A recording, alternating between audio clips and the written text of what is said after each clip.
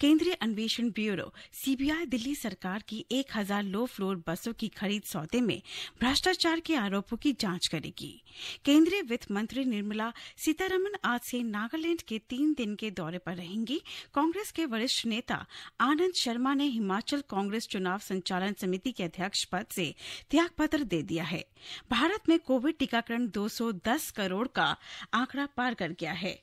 राष्ट्रीय राजधानी दिल्ली में कल 942 लोगों में कोरोना संक्रमण की पुष्टि हुई। दिल्ली सरकार ने कहा कि कल 1360 संक्रमित स्वस्थ हुए। सोवरन गोल्ड बॉन्ड योजना 2022-2023 श्रृंखला दो के स्वर्ण बॉन्ड की बिक्री आज से शुरू हो रही है।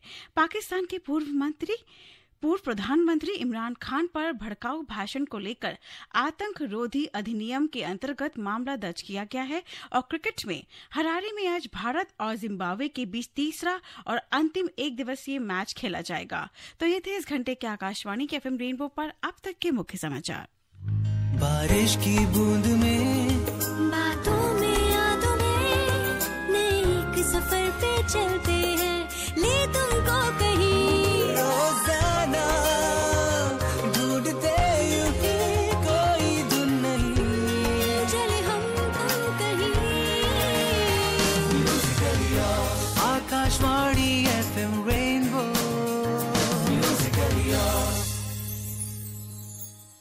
हेलो एंड नमस्ते इंडिया हेल्थ केयर जी हाँ हेल्थ केयर सेक्टर 100 परसेंट लोगों के वेलबींग का सेक्टर है, जिसका बेहतर होना देश के लिए गर्व की बात है।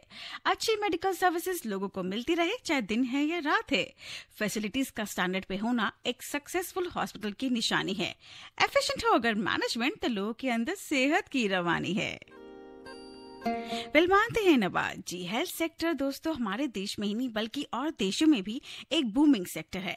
इनफैक्ट कहा जाता है कि आज के दौर में Indian health sector industry multi billion dollar industry बन चुकी है, जिसमें हॉस्पिटल्स के अलावा मेडिकल इक्विपमेंट सप्लाई इंश्योरेंस भी इंक्लूडेड हैं। और इस पैंडेमिक में तो हमने देखा भी है कि कितना प्रेशर बढ़ा है हॉस्पिटल्स पर। और किस तरह से हॉस्पिटल्स ने अपने एफिशिएंट मैनेजमेंट के ज़रिए इस सिचुएशन को टैकल किया है और कर भी रहे हैं। हॉस्पिटल मैनेजमेंट आज के टाइम में एक बेहद ही इंपॉर्टेंट टॉपिक है और करियर के लिए एक बेहद, मैं कहूँगी, बढ़िया ऑप्शन है बंधु। बात करेंगे आज इसी टॉपिक के बारे में, जो है career in hospital management program rainbow helpline में, जो है रेनबो दोपहर का फ़र्स्ट सेगमेंट और इस टॉपिक पर बात करने के लिए हमारे साथ स्टूडियो में मौजूद है Shri Gaurav Pandey who is a health care expert तो चलिए दोस्तों, करते हैं हम उनका स्वागत। हेलो सर हेलो कैसे हैं आप? मैं बहुत अच्छा हूँ आप बताइए। सर हम भी बहुत अच्छे हैं और आई एम श्योर जो आज आप इन्हें हमें इतनी वैल्यूबल इन्फॉर्मेशन देंगे इस करियर के बारे में इस फ्लरिशिंग करियर के बारे में आई एम श्योर हमारे जो दोस्त हमारे जो लिसनर्स है वो भी बढ़िया हो जाएँगे। क्योंकि मन में बहुत डाउट्स रहते हैं ना कि कौन सा करियर लें कौन सा ना लें। तो सर जैसे कि आज हमारा टॉपिक है कि हम कैसे करियर बनाएँ हॉस्पिटल मैनेजमेंट में। लेकिन सबसे पहले आपसे जानना चाहूँगी कि हॉस्पिटल मैनेजमेंट होता क्या है? जी बहुत ही अच्छा सवाल है और बहुत ही मैं ऑल इंडिया रेडियो का शुक्रिया अदा करता हूँ इस टॉपिक को चूज़ करने के लिए। क्योंकि बहुत लोगों के मन में ये शंकाएँ रहती हैं कि हॉस्पिटल में एक मैनेज मैनेजर को देख करके कि वो क्या करते हैं। तो ये बहुत ही इंटरेस्टिंग और बहुत ही चैलेंजिंग फ़ील्ड है और ये उन लोगों के लिए जिनके अंदर सेवा भाव है, मैं ये जो कहना चाहूँगा कि उनके लिए ये बहुत ही जो नर को नारायण का रूप देखते हैं, उनके लिए बिल्कुल ही सही फ़ील्ड है।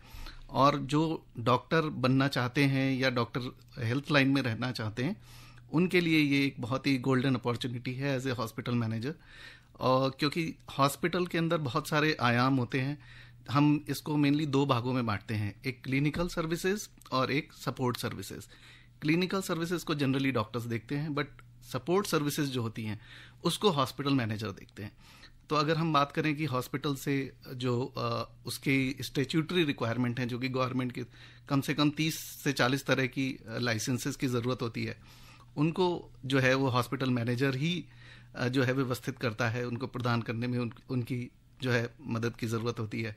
और डे टू डे हॉस्पिटल के अंदर जितना भी मैनेजमेंट है वो सारा एक हॉस्पिटल मैनेजमेंट में जो एक पारंगत एक एक्सपर्ट है जिसने उससे कोई योग्यता डिग्री ली हुई है वो करने के लिए इसको दिया जाता है। सर, आपने बहुत ही मैं कहूँगी ब्रीफ में बहुत ही अच्छी तरह हमें समझाया। इनफैक्ट मुझे ये बात बहुत अच्छी लगी। आपने कहा कि सेवा भाव, जो सोशल सर्विस हम सब करना चाहते हो और जिस करियर में आपको पैसा भी मिल रहा हो और साथ में सेवा भाव, अगर आपके अंदर है लोगों की सेवा करने का मौका मिल रहा है, समाज का निर्माण करने का मौका मिल रहा है तो इससे बेहतर करियर क्या होगा?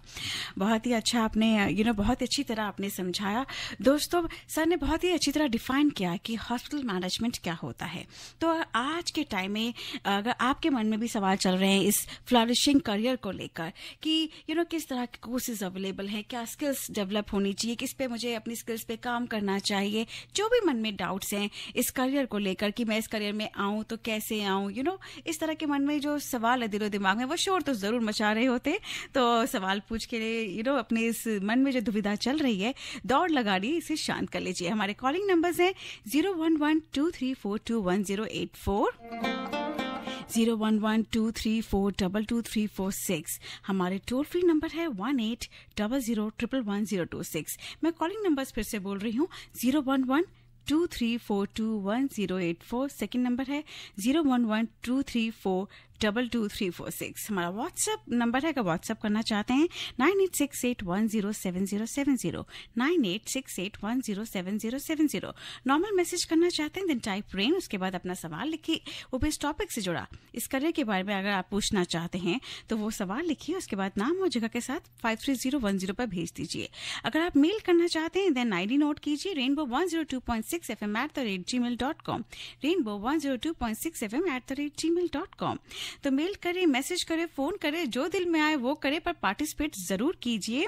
एफ़ एम रेनबो पर प्रोग्राम चल रहा है रेनबो हेल्पलाइन जो कि है रेनबो दोपहर का फ़र्स्ट सेगमेंट और मैं हूँ आज आपके साथ प्रियंका वर्मा। हमारे साथ स्टूडियो में मौजूद हैं गौरव पांडे जी। आप हेल्थ केयर एक्सपर्ट हैं तो गौरव जी गाना लगा दें? जी। तो चलिए लगाते हैं दोस्तों ये गाना। गुड आफ्टरनून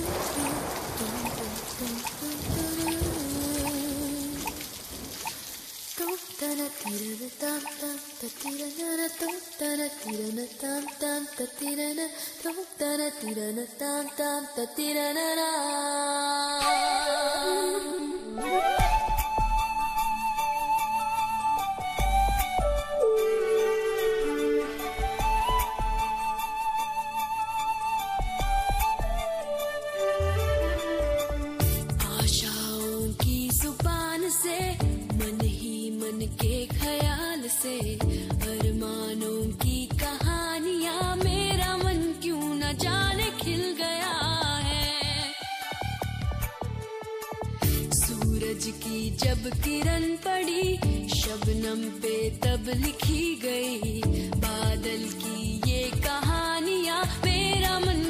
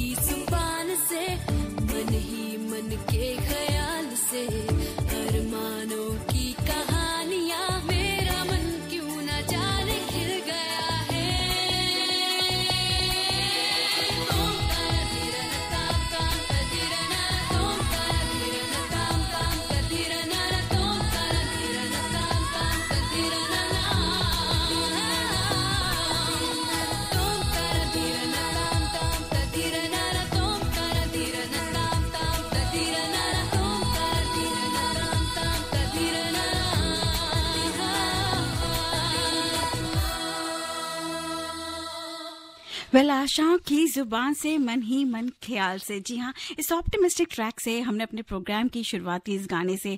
और ये जो ऑप्टिमिस्टिक ट्रैक है ना सीरियसली ये मैंने खास कर अपने यंगस्टर्स जो मेरे दोस्त हैं, उनके लिए लगाया है। अगर इस लिरिक्स को अपने ध्यान से सुना है तो समझ गए होंगे। वेल आज प्रोग्राम चल रहा है रेनबो हेल्पलाइन में करियर इन हॉस्पिटल मैनेजमेंट जी हाँ और इससे बातचीत करने के लिए हमारे साथ स्टूडियो में मौजूद है गौरव पांडे जी। गौरव जी, मेरा आपसे अभी आपने हमें समझाया कि हॉस्पिटल मैनेजमेंट जो है, ये दो पार्ट्स में डिवाइडेड है। एक है क्लिनिकल सर्विसेज़ और एक है सपोर्ट सर्विसेज़ अगर मैंने सही कहा। तो क्लिनिकल सर्विसेज़ जो है वो डॉक्टर्स देखते हैं ज़्यादातर और जो सर्विसेज़ हैं सपोर्ट सर्विसेज़ हैं वो नॉन क्लिनिकल है जिसमें आप एम uh, करके भी आप जा सकते हैं। हॉस्पिटल मैनेजर्स की अगर हम बात करें है ना? तो फिर हॉस्पिटल्स की भी कितनी तरह के होते हैं? जी बहुत ही ज़रूरी सवाल है ये समझना। हॉस्पिटल को हम लोग मेनली तीन भागों में डिवाइड करते हैं जिनमें कि हम कहते हैं कि प्राइमरी केयर हॉस्पिटल जहाँ पर एक डॉक्टर अपनी बेसिक सुविधाओं के साथ में लैब टेस्टिंग वगैरह उसकी हो जाती है और कुछ जो जांचें हैं, कुछ छोटा मोटा ट्रीटमेंट हो जाता है। उसके अलावा जो सेकेंडरी केयर हॉस्पिटल होते हैं, वहाँ पर वो मझोले किस्म के 50 से सौ बेड के हॉस्पिटल होते हैं, जहाँ पे ऑपरेशन थिएटर आईसीयू वगैरह की व्यवस्था होती है और एक सामान्यतः मरीज़ का इलाज किया जा सकता है।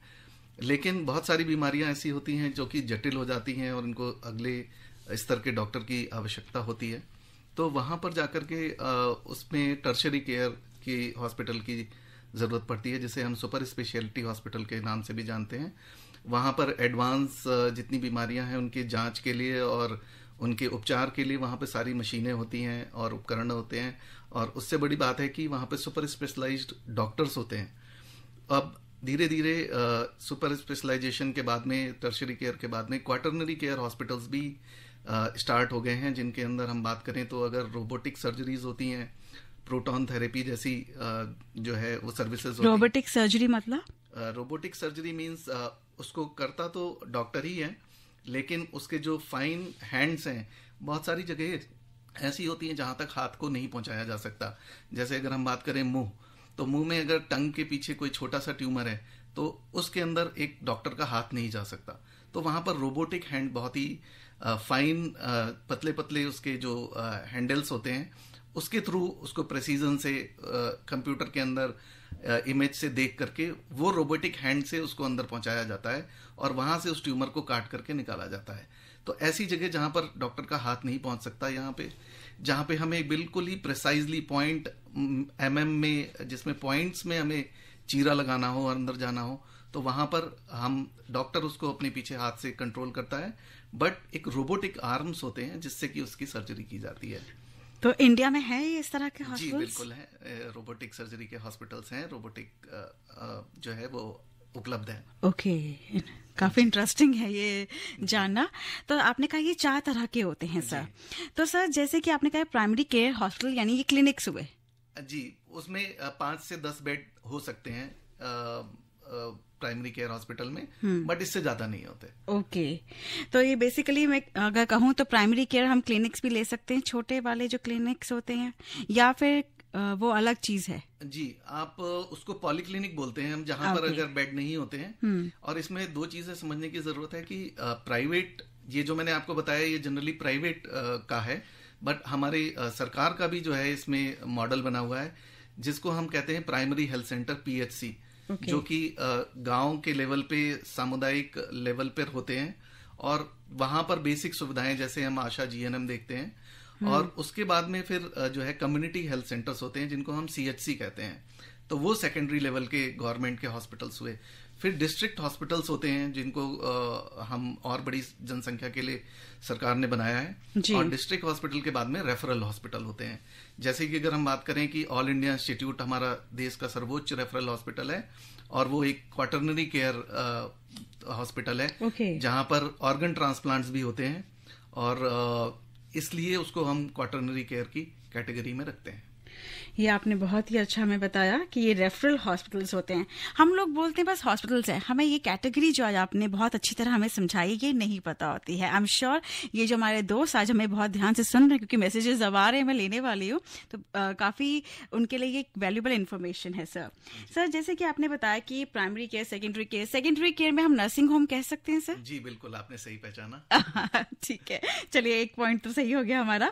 नर्सिंग होम्स है और जो आपने टर्चरी जो सेक्टर बताया है इसमें सुपर स्पेशलिटी तो सर सुपर स्पेशलिटी और मल्टी स्पेशलिटी में क्या डिफरेंस होता है? जी एक बड़ा नर्सिंग होम जिसमें बहुत सारी स्पेशलिटी की सर्विसेज़ हैं जैसे अगर हम बात करें गायनेकोलॉजी पीडियाट्रिक्स ऑर्थोपेडिक्स इनका अगर एक समूह वहाँ पर उस सेकेंडरी केयर हॉस्पिटल में है तो उसको हम मल्टी स्पेशलिटी हॉस्पिटल बोलेंगे। ओके।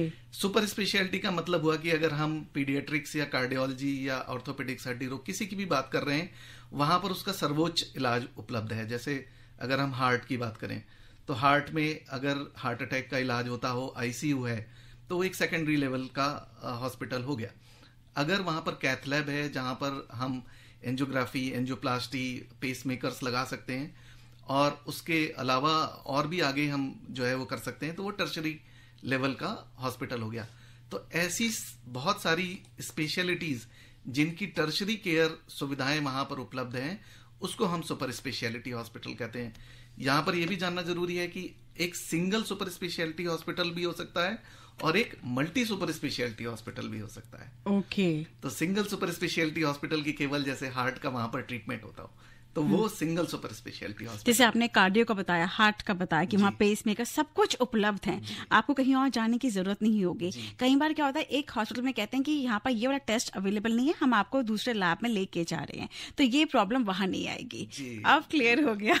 दोस्तों, हमारे साथ है गौरव पांडे जी और हमारे साथ जो है, इस समय एक कॉल भी है तो देखते हैं कि वो कॉल जो है अभी डिस्कनेक्ट हो गई है, मैंने अभी देख लिया है। इसी के साथ सर एक मैसेज आया है कि आपने ये राहुल का मैसेज आया है पटना से, ये कहते हैं कि good afternoon ma'am Rahul Patna hospitality management का कौन सा डिग्री और स्किल होना चाहिए? प्लीज़ डिटेल में बताइए। पहले दोस्तों ये हॉस्पिटैलिटी नहीं है हॉस्पिटल मैनेजमेंट है। यहाँ आप देख लीजिएगा कि हॉस्पिटल हॉस्पिटैलिटी मैनेजमेंट एक अलग चीज़ होती है।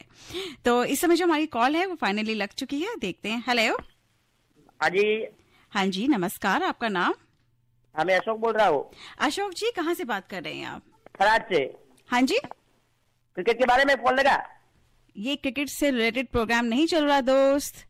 वेल well, दोस्तों अगर आप इस प्रोग्राम से जुड़ा सवाल पूछना चाहते हैं तो ज़रूर पूछिएगा। जी हमारे कॉलिंग नंबर से zero one one two three four two one zero eight four और हमारा सेकंड कॉलिंग नंबर है zero one one two three four double two three four six हमारा टोल फ्री नंबर है एक आठ शून्य शून्य एक एक एक शून्य दो छः और व्हाट्सएप करना चाहते हैं तो nine eight six eight one zero seven zero seven zero और इसी के साथ ही मैसेज आया है प्रियंका वर्मा मैडम जी नमस्कार। मेरा सवाल है कि करियर इन हॉस्पिटल मैनेजमेंट को ज्वाइन करने के लिए मिनिमम क्वालिफिकेशन कितनी और फाइनेंशियल हेल्प भी मिलती है क्या?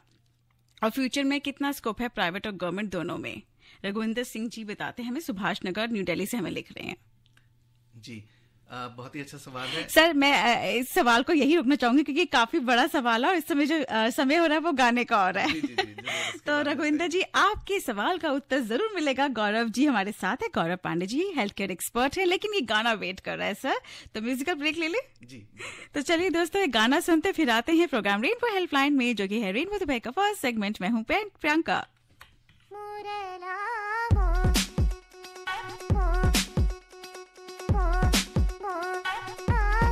One more time.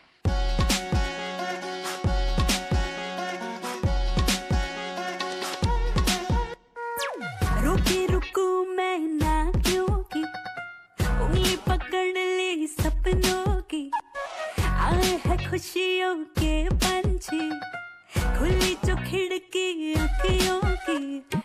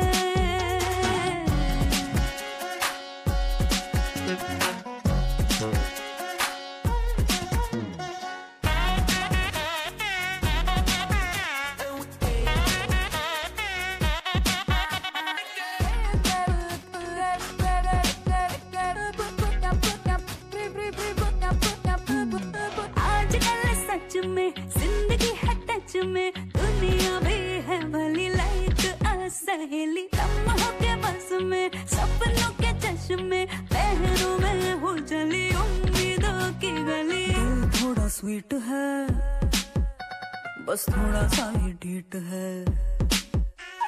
दिल थोड़ा स्वीट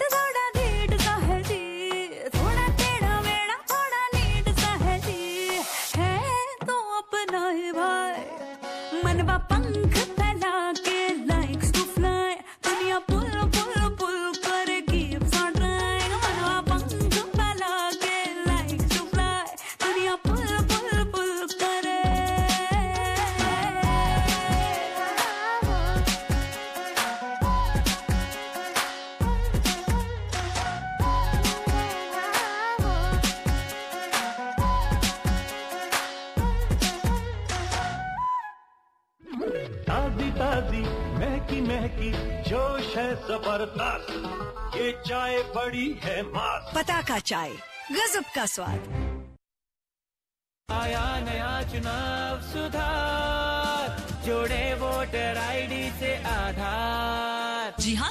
मतदाता सूची के शुद्धिकरण में योगदान करें। आज ही nvsp.in या वोटर हेल्पलाइन ऐप पर फॉर्म 6 बी भर के वोटर आईडी से आधार को लिंक करें। ये पूर्णतया स्वैच्छिक है। अधिक जानकारी के लिए CEO Delhi dot G O V dot in आरोप जाए या वन नाइन फाइव ज़ीरो आरोप कॉल करें। मुख्य निर्वाचन अधिकारी दिल्ली द्वारा जनहित में जारी। जोड़े वोटर आईडी आधार।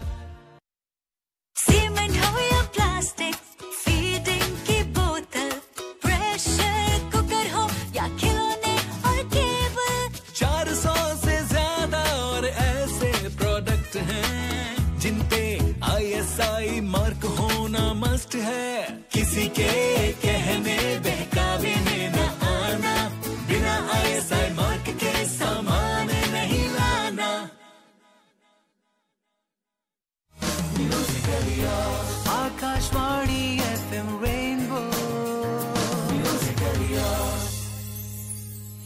जी हाँ वेलकम बैक प्रोग्राम चला रेनबो हेल्पलाइन रेनबो दोपहर का फ़र्स्ट सेगमेंट और आज हम उस करियर की बात कर रहे हैं जिसमें पैसा भी है, सुकून भी है, लोगों की सेवा करने का। जी हाँ टॉपिक है करियर इन हॉस्पिटल मैनेजमेंट और इस टॉपिक पर बात करने के लिए हमारे साथ स्टूडियो में मौजूद हैं श्री गौरव पांडे, आप हेल्थ केयर एक्सपर्ट हैं।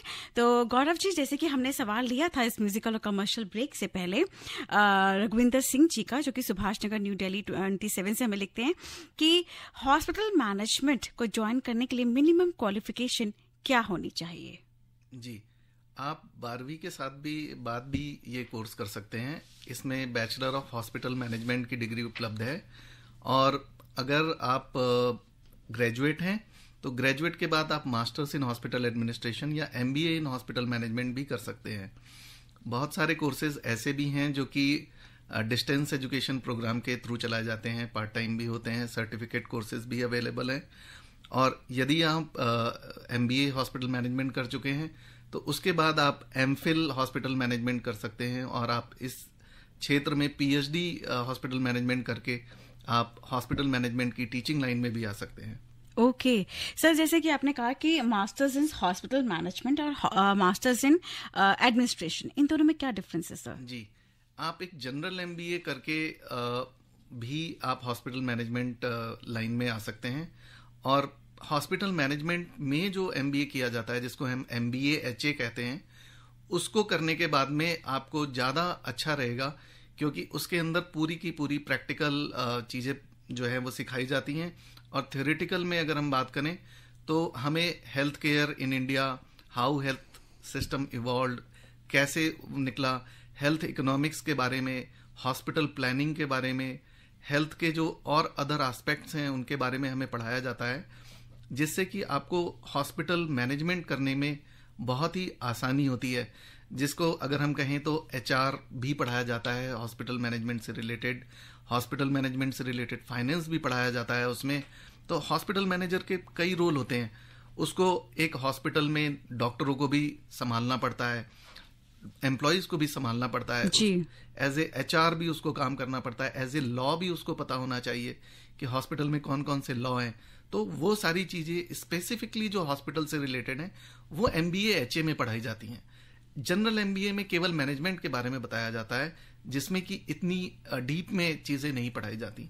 तो ऑब्वियसली जिसने एम बी एच किया है उसको एक एडेड एडवांटेज होगा उसको चीज़ें ज़्यादा अच्छी समझ आएँगी उसको ज़्यादा चीज़ें अच्छी पकड़ में आएँगी।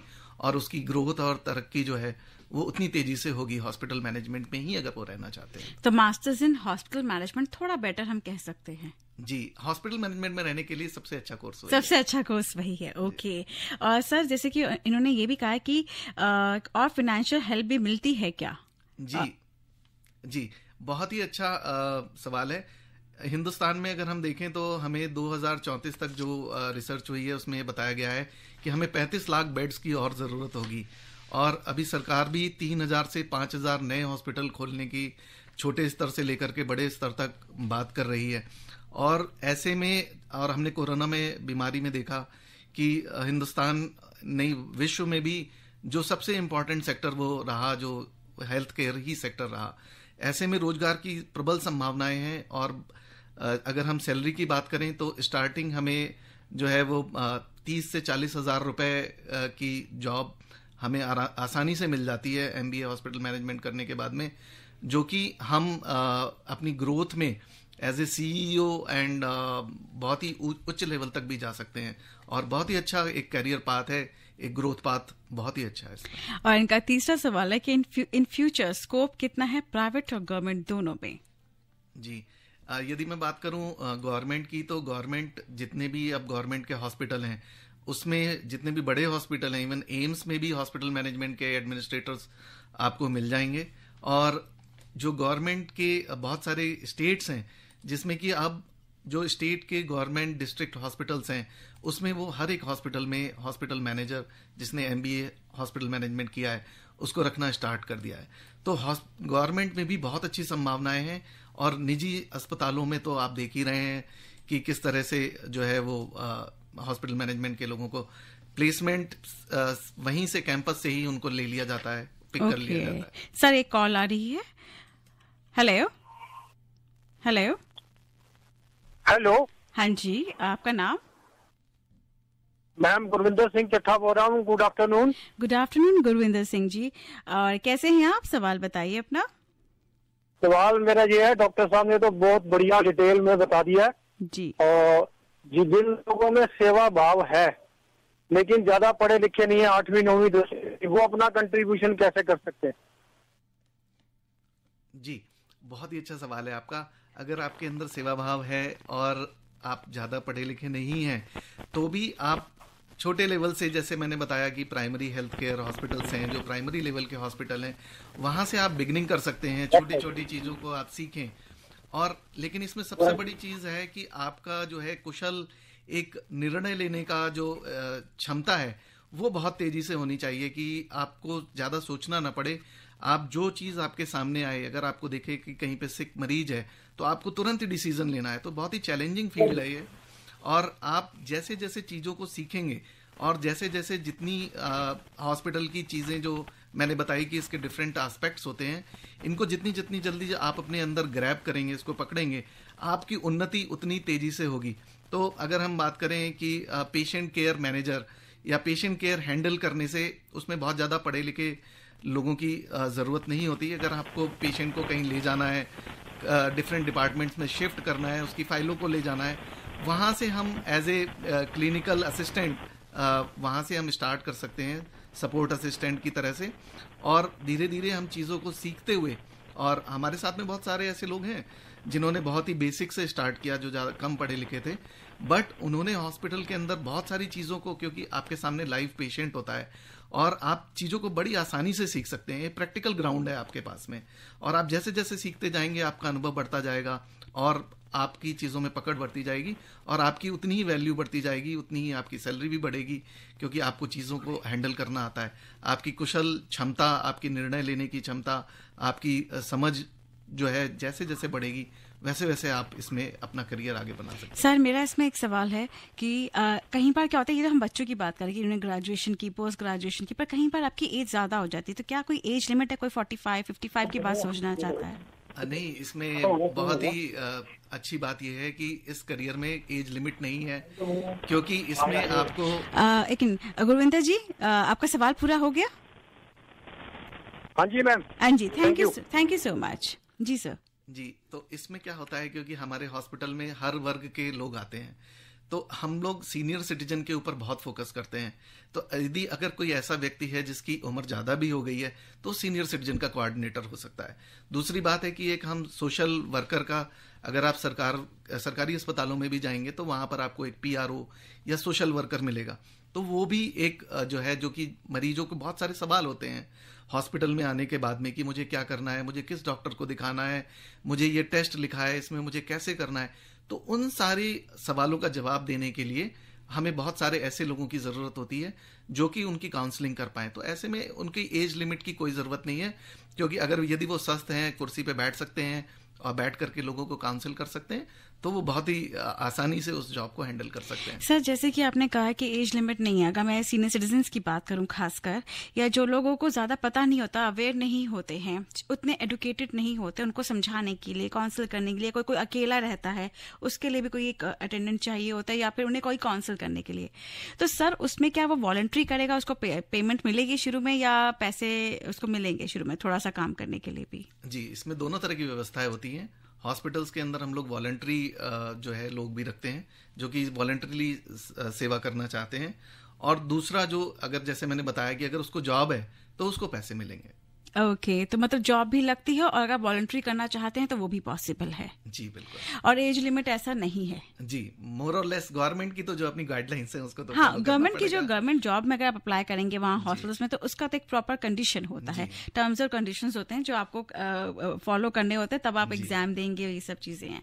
सर इसमें जो एक बच्चा जब इस कोर्स को यू नो चूज़ करने के लिए सोचता है तो मिनिमम परसेंटेज कितना होना चाहिए उसका ट्वेल्थ में? जी ट्वेल्थ में मिनिमम परसेंटेज फिफ्टी परसेंट होना चाहिए उनका क्योंकि कोई भी स्ट्रीम में। जी जी किसी भी स्ट्रीम से आप हॉस्पिटल मैनेजमेंट कर सकते हैं लेकिन कुछ एक इंस्टीट्यूट हैं जैसे ऑल इंडिया इंस्टीट्यूट की अगर हम बात करें तो उसमें केवल हॉस्पिटल मैनेजमेंट करने के लिए डॉक्टरों को ही लिया जाता है। आर्म फोर्सेज है पुणे में वहाँ पर भी डॉक्टरों को लिया जाता है बट नॉन क्लिनिकल भी।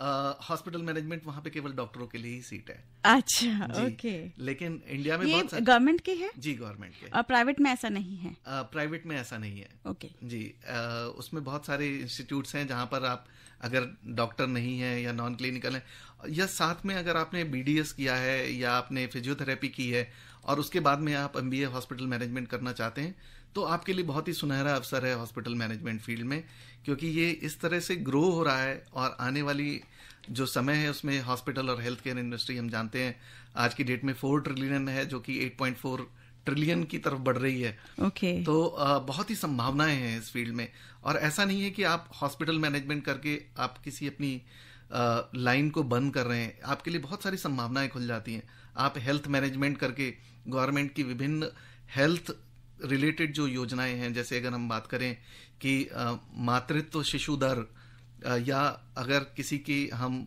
न्यूट्रिशन का असेसमेंट करना है तो गवर्नमेंट के बहुत सारे ऐसे प्रोजेक्ट्स चलते हैं जिसमें कि उनको इन्वॉल्व किया जाता है रिसर्च के लिए। ओके ये काफ़ी सर इस पर हम अच्छी तरह बात करेंगे विस्तार में बात करेंगे।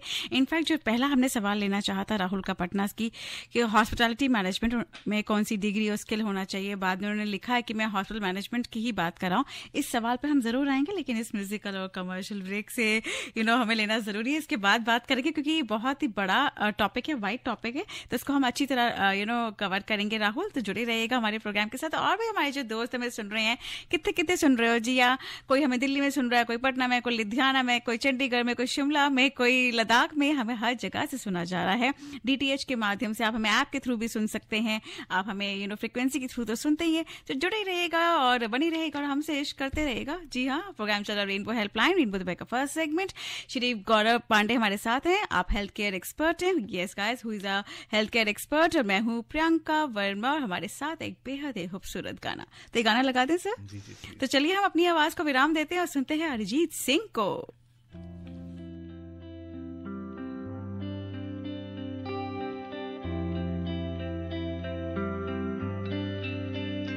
मुझको इतना बताए कोई। कैसे तुझसे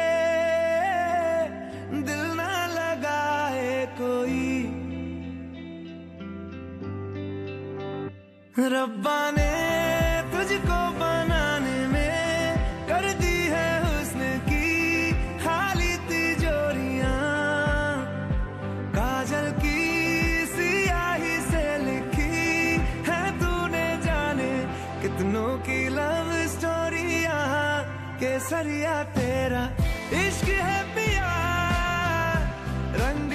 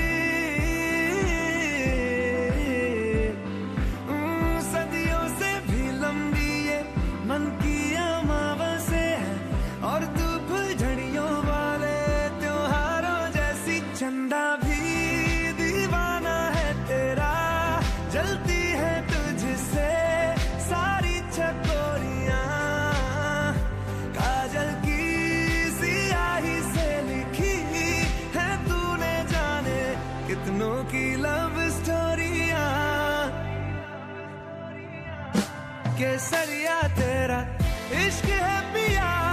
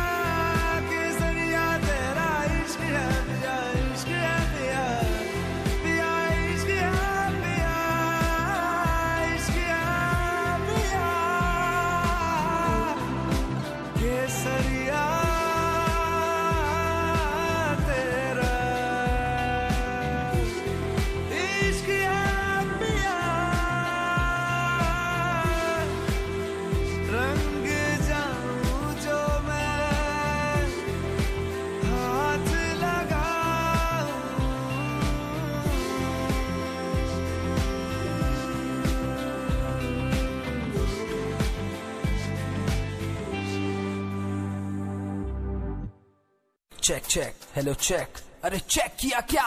तूने चेक किया क्या?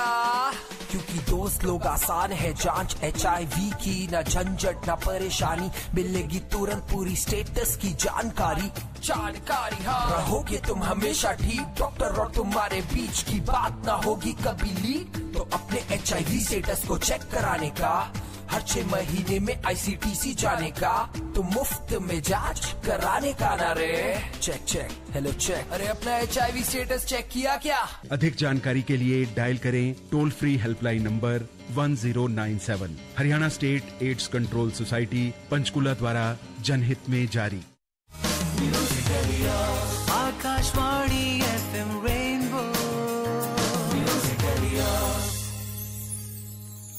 जी हाँ वेलकम बैक प्रोग्राम चल रहा है रेनबो हेल्पलाइन रेनबो दोपहर का फ़र्स्ट सेगमेंट जहाँ मैं हूँ प्रियंका आपके साथ।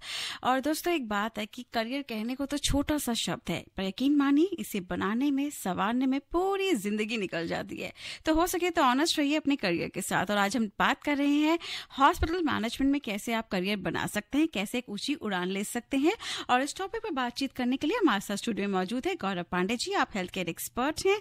और सर मैं आपसे जानना चाहूँगी कि जैसे कि हमसे पहले राहुल ने पूछा था सवाल, कि राहुल ने पटना से हमें पूछा था कि हॉस्पिटैलिटी मैनेजमेंट का कौन सा डिग्री और स्किल होना चाहिए तो मैंने इनसे कहा था कि आप हॉस्पिटैलिटी मैनेजमेंट कर रहे हैं, की बात कर रहे हैं तो उन्होंने कहा, नहीं, मैं हॉस्पिटल मैनेजमेंट की बात कर रहा हूँ। लेकिन अभी आपने हमें कहा कि हॉस्पिटैलिटी भी का भी यूज़ होता है इस सेक्टर में तो थोड़ा सा बताइएगा इस बारे में। जी, बिल्कुल। जैसे हम देखते हैं, होटलों में रूम्स होते हैं, हम गेस्ट की सेवा करते हैं गेस्ट आते हैं, रुकते हैं, उसमें सारी सुविधाएँ जो होती हैं उसी तरह से जब मरीज़ आता है हॉस्पिटल में तो वो ऑलरेडी बहुत दुखी होता है। जी। उसको बहुत कष्ट होते हैं और उसके जो अटेंडेंट होते हैं वो भी कष्ट में होते हैं। तो ऐसे में जब हॉस्पिटल में जब वो भर्ती होता है उसके जो रूम में जो उसकी सुविधाएँ हैं यदि हम उनको उस लेवल की प्रोवाइड कर पाएँ और बहुत ही सेवा भाव से दे पाए तो हमारे लिए ये बहुत ही एक अच्छा काम होता है। ऐसे में हॉस्पिटैलिटी मैनेजमेंट में जो लोग होटल में रहे हैं जिन्होंने गेस्ट सर्विसेज़ पे ज़ोर रखा है और जिनका अनुभव है, ऐसे में वो लोग बहुत ही उपयोगी साबित होते हैं, क्योंकि उनको उनके अंदर बहुत ही पेशेंस होता है और जो मरीज़ है, वो ऑलरेडी डिस्टर्ब होता है, बहुत ही कष्ट में होता है, ऐसे में उसकी जो संवेदनाओं को समझने का ही एक भाव है, वो उनके अंदर ऑलरेडी भरा होता है, क्योंकि वो होटल इंडस्ट्री से गेस्ट को उस तरह से ही ट्रीट करते रहते हैं। तो ऐसे में हम लोग हाउस कीपिंग से लेकर के, रूम सर्विस से लेकर के, जितनी हॉस्पिटल की साफ़ सफ़ाई है या कैटरिंग है, खाने को कैसे पेश करना है और किस तरह से गर्म खाना अच्छा खाना उन तक पहुँच सकता है इस पर ज़ोर देने के लिए हम लोग बहुत बार हॉस्पिटल में हॉस्पिटलिटी मैनेजमेंट के अनुभव के लोग भी रखते हैं। सर, जैसे कि आपने अभी बात की कि हाउसकीपिंग स्टाफ की बात की या जो आपको खाना दे रहे आ रहे हैं। सर, जो कोविड में जब आपकी फैमिली अलाउ नहीं थी पेशेंट अकेला ही था तो उस समय ये जो हॉस्पिटैलिटी आपने बात की कि हाउसकीपिंग जो खाना दे रहे हैं, जो उनको स्पंज कर रहे हैं तो वो उनके साथ बहुत अच्छा कनेक्शन बना रहे थे। मैंने देखा था मैं, क्योंकि हम लोगों ने खुद एक्सपीरियंस किया कोविड का सेकेंड वेव तो मैंने देखा कि कितना मान्य रख रहा था। उस समय यही आपकी फैमिली होती। फ़र्स्ट फैमिली मैं इन्हीं को ही कहती हूँ उस समय कि जब वो आपसे प्यार से बात करें, आपको प्यार से खिला रहे हैं आपकी मम्मी आपके साथ नहीं, आपके फादर आपके साथ नहीं, आप अकेले हैं तो यही आपके लिए फैमिली होती है। तो ये तो पेशेंस का होना और एक अपनापन इमोशनल बॉन्ड कनेक्ट करना पेशेंट के साथ बहुत ज़्यादा ज़रूरी हो जाता है। आप मशीन नहीं होते आपके अंदर जज्बात होते हैं। मुझे ऐसा लगता है ये बहुत ज़्यादा ज़रूरी है। जी बिल्कुल। आ, सर इसमें एक सवाल आया है कि ओके प्रोग्राम अच्छा लग रहा है। रेणुका पहान वेस्ट बंगाल से हमें लिखती हैं। Thank you so much ma'am इसी के साथ गौरव जी की जानकारी दी हुई जानकारी से मेरा करियर बन जाएगा। मानवी लिखती है देहरादून से। बहुत ही अच्छा। चलिए बहुत अच्छी बात है। धन्यवाद। और इसी के साथ ये एक सवाल है निशा का दिल्ली से ही कहते हैं कि क्या हॉस्पिटल मैनेजमेंट होता है या हॉस्पिटल एडमिनिस्ट्रेशन? इसका सवाल आप जो है आप इसका जो जवाब दे चुके हैं। को सेम होता है या अलग होता है? दोनों में डिफरेंस क्या होता है? ये आपने मेरे ख्याल से बता दिया है सारा है ना? जी। सर इसी के साथ मेरा एक जो सवाल है वो है ओवरसीज को लेकर हमारे वैसे तो देखा जाए तो हमें अपनी सर्विसेज़ जो है अपने देश को देनी चाहिए। देश के लिए देनी चाहिए। देश में जो लोग हैं उनकी सेवा करनी चाहिए। लेकिन अगर किसी कारणवश आप ओवरसीज आप बाहर जाना चाहते हैं, अपनी सर्विसेज़ देना चाहते हैं तो क्या यही कोर्स करके आपको अच्छी जॉब के जो अपॉर्चुनिटीज़ है, वो मिल सकती हैं, अच्छे एवेन्यूज मिल सकते हैं इस सेक्टर में? जी, बिल्कुल, बहुत ही अच्छा सवाल है आपका। ये अपने अगर इंडिया में हम जो बात करें तो हॉस्पिटल मैनेजमेंट के साथ साथ में हेल्थ मैनेजमेंट भी इसका एक इंटीग्रल पार्ट है। और विश्व की बहुत सारी यूनिवर्सिटीज़ हैं जो कि masters in public health health कराती हैं एम तो आप एमएचए करने के बाद में या बीएचए बैचलर करने के बाद में आप आगे एमपीएच भी कर सकते हैं मास्टर्स इन पब्लिक हेल्थ यदि आपके पास कोई डॉक्टर की डिग्री है या अलाइड और कोई भी मेडिकल से रिलेटेड आपने कोर्स किया है तो भी आप एमपीएच कर सकते हैं। और एमपीएच करने के बाद में आपको बहुत सारी विश्व में विभिन्न देशों में काम करने की संभावनाएँ बहुत ही खुल जाती हैं। उसके साथ ही अगर हम बात करें तो हमने पिछली बार बात की थी मेडिकल टूरिज़्म की।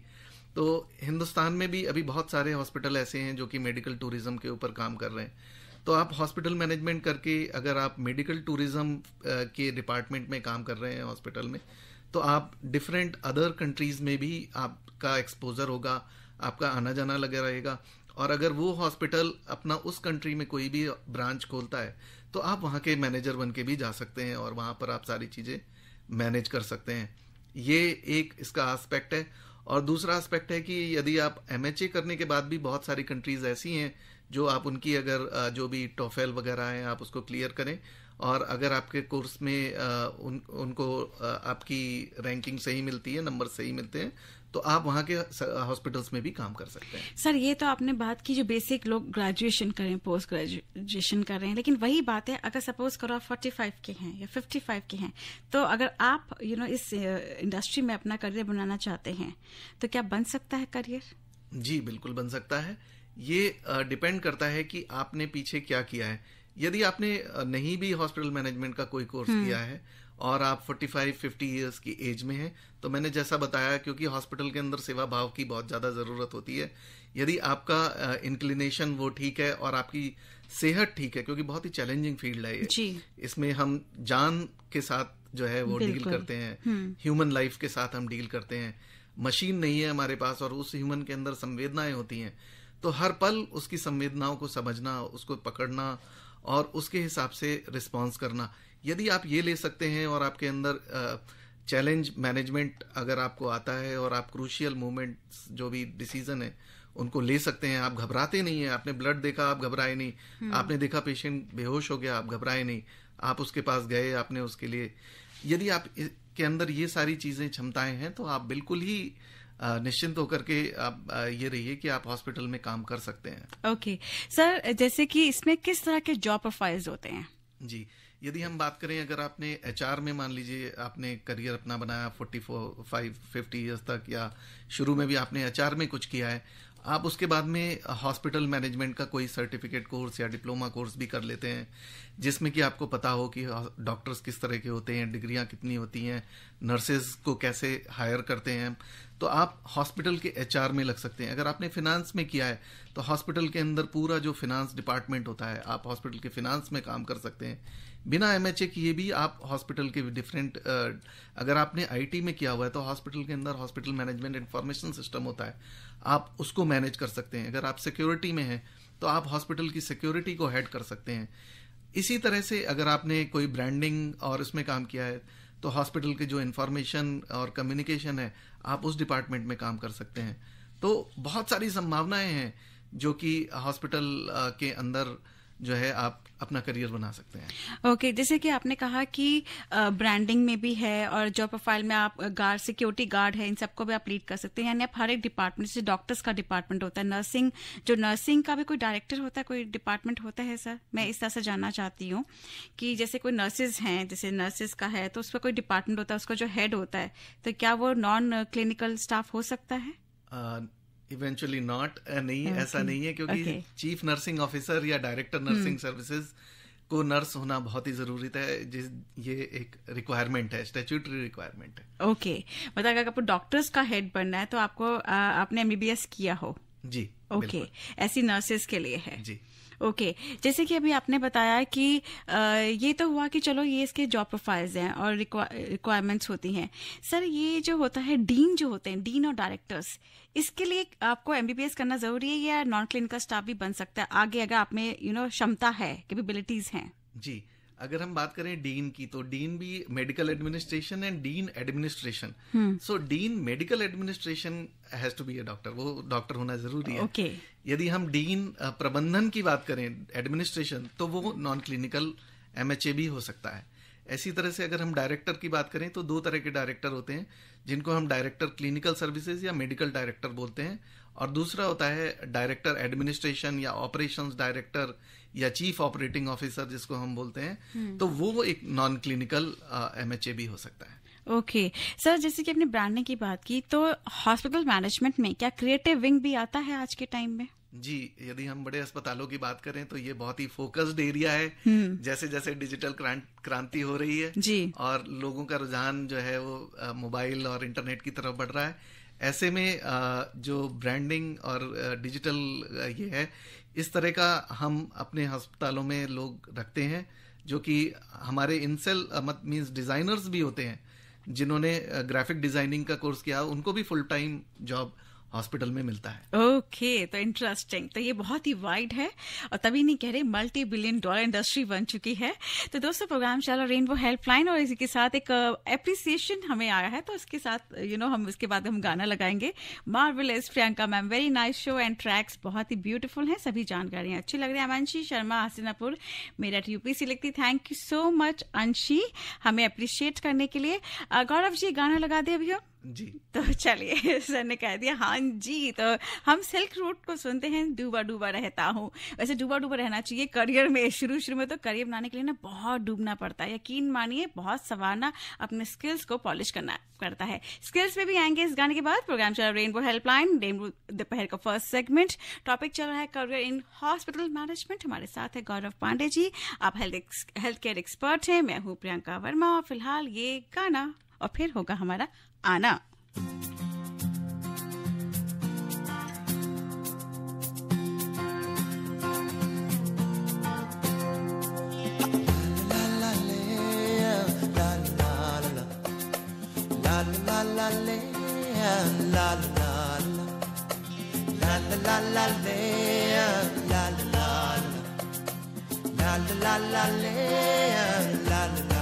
डूबा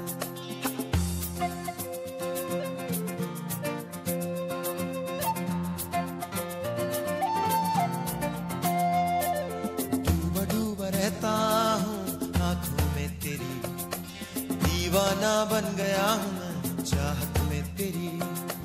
डूबा डूबा रहता हूँ आँखों में तेरी।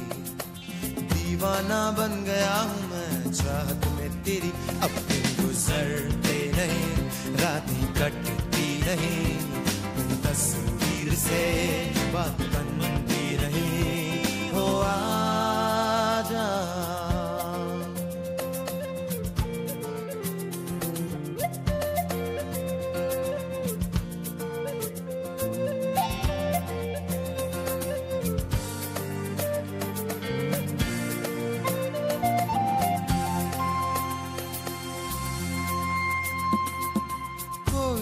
जाने ना पहचाने ना।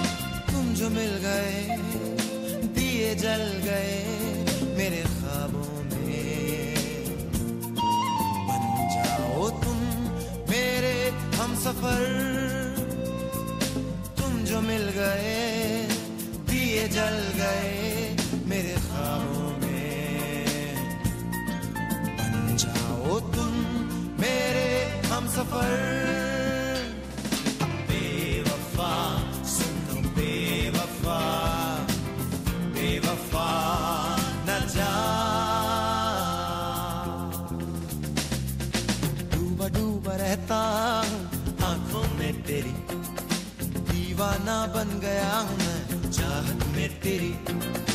डूबा डूबा रहता हूँ, आँखों में तेरी। दीवाना बन गया हूँ मैं, चाहत में तेरी। गुजरते रहे, रातें कटती रहे तेरी तस्वीर से बात बनती रही। हो आजा ना जा बेवफा।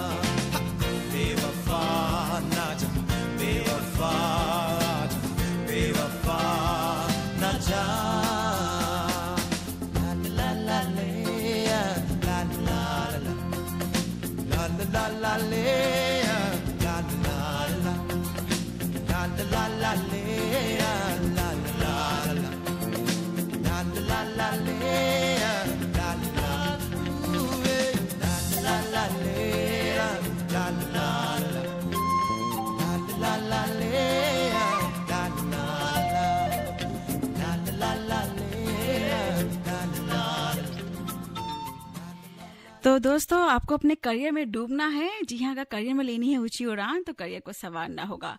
हमारे साथ हैं Gaurav Pandey ji who is health care expert और जाते जाते आप हमारे दोस्तों को क्या कहना चाहेंगे सर जी प्रोग्राम सुनने के लिए बहुत ही, बहुत धन्यवाद। और मैं कहना चाहूँगा कि प्रोफेशनल डिग्रीज तो हॉस्पिटल मैनेजमेंट में अब मैंने बता ही दी हैं। इसके साथ में आपको कम्युनिकेशन स्किल्स पे बहुत ध्यान देना है, अगर आपको रहना है। इस फ़ील्ड में तो आपका verbal as well as non verbal दोनों कम्युनिकेशन बहुत अच्छा होना चाहिए। आपको बॉडी लैंग्वेज की वो जो आर्ट है, वो भी आपको सीखनी चाहिए कि क्योंकि कई बार हम जो बोलते हैं वो अ, हम अगला समझ नहीं पाता। क्योंकि मरीज़ ऑलरेडी डिस्टर्ब रहता है दुखी होता है उसके तीमारदार उसके जो अटेंडेंट होते हैं वो भी दुखी होते हैं। तो ऐसे में कहीं हम जो बोल रहे हैं क्या वो हमारी बॉडी लैंग्वेज से भी समझ पा रहे हैं? उसको हमें सिखाना बहुत ज़रूर। दूसरी चीज़ है कि हमें स्ट्रेस हैंडलिंग करना आना चाहिए कि हमें इतने तनावपूर्ण माहौल में हॉस्पिटल में काम करते हुए हमें स्ट्रेस ना हो। तो इसके लिए हमें एक इमोशनल जो है आर्ट को सीखना इमोशनल काउंसलिंग लेनी या उस आर्ट को सीखना बहुत ही ज़रूरी है। तीसरा है, अगर हम स्ट्रेटेजिक डिसीजंस को लेने के लिए आर्ट को अगर हम उसको सीखते हैं तो ये हमारे करियर में एक एडेड एडवांटेज रहेगा कि आप उतनी जल्दी हॉस्पिटल मैनेजमेंट में तरक्की कर पाएँगे। क्योंकि क्रूशियल मोमेंट्स पे आपको किस तरह से डिसीज़न लेना है, वो एक आर्ट है, वो आपको आना चाहिए। तो आप केस स्टडीज़ होती हैं, उनको आप देखें, सीखें और अपना करियर, भविष्य को संवारें। Thank you so much sir आपने जो जिस तरह से बताया कि हीलिंग्स होना, क्योंकि आप खुद इफ़ेक्ट ना हो, क्योंकि हॉस्पिटल्स में बहुत तरह तरह के केसेस आते हैं, कुछ बहुत सीरियस होते हैं। कई बार आपको, आपकी वो मनोस्थिति पे यू नो इफ़ेक्ट कर लेते हैं बुरी तरह से। तो उससे इफ़ेक्ट ना हो, उसके लिए हीलिंग्स लेना खुद के लिए भी कितना ज़रूरी है बहुत इंपॉर्टेंट पॉइंट आपने बताया। Thank you so much sir hospital management में दोस्तों, आप सबके लिए करियर से जुड़े बहुत से अवसर हैं। तो अगर बनाना हो हेल्थ सेक्टर में अपना करियर तो हटाना पड़ेगा। रास्ते में आने वाला हर एक बैरियर। बनना होगा एफिशिएंट डेडिकेटेड और फिर लेंगे आप एक ऊँची उड़ान। Thank you so much Gaurav ji for coming to the studio बहुत ही अच्छी तरह, बहुत ही खूबसूरती से आपने इस फ्लरिशिंग करियर के बारे में बताया कि किस तरह से इसमें हम अपने रास्ते ढूंढ सकते हैं और मंजिल तक पहुँच सकते हैं। ऊँची उड़ान मैं कहूँगी करियर में एक खूबसूरत परवाज आप ले सकते हैं। एंड आई एम श्योर आपकी वैल्यूबल इन्फॉर्मेशन काफ़ी ज़्यादा यू नो हेल्पफुल रहेगी हमारे दोस्तों के साथ। तो thank you so much sir और इसी के साथ दोस्तों, मिलती हूँ आपको दिल में।